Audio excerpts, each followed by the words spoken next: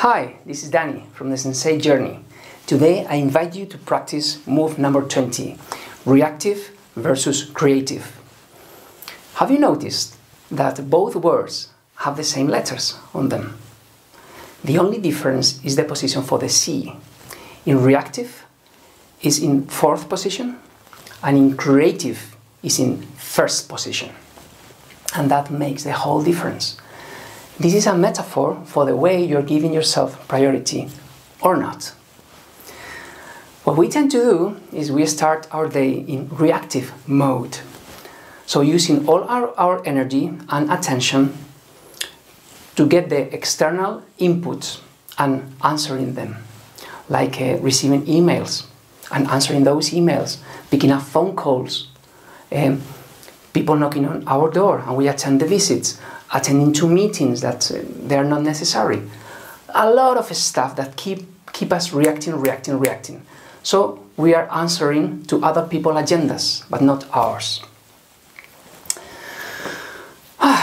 we tend to think, hey, it's not a big deal because later on the day I will have my space to be creative.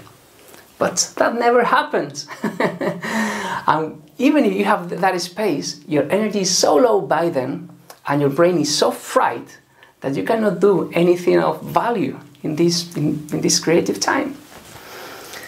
So here's the assignment. Take your agenda and block a space of time in the morning to do your creative work. There is the occasion to connect with your purpose, to create something meaningful, to deliver a great service that mm, brings value to the people around you and that makes you grow and advance in your career, on your leadership path. And to do that, you need to create a sanctuary around that time and protect yourself from reactive attacks. So I encourage you to turn off your mobile phone, hanging a, uh, a note on your door saying don't disturb, and just getting into your creative work for that slot that you defined. And it is not so important if it's 10 minutes or 15 minutes uh, for a start. The important thing is that you give yourself priority and you get into the habit of creating that space for you and you put yourself into motion, creative motion.